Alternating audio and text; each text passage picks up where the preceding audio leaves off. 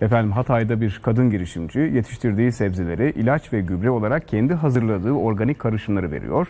Organik gübre ve ilaçla hem verim artıyor hem de daha sağlıklı ürünler yetişiyor.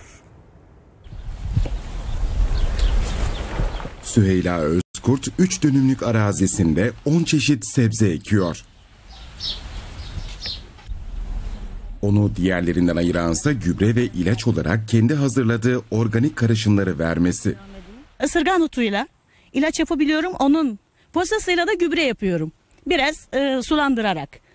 Domates yaprağıyla da domatese, fasulyeye vesaire böcek ilacı yapabiliyorum. E, onu evde görürsünüz. Onu denedim. Ben birkaç senedir deniyorum. Gerçekten olumlu sonuç alıyorum.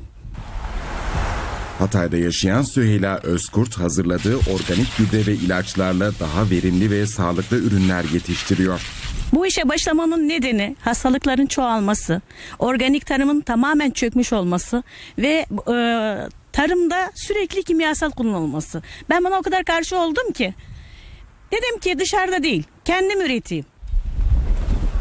Özkurt hazırladığı organik ilaç ve gübreleri komşularıyla da paylaşıyor.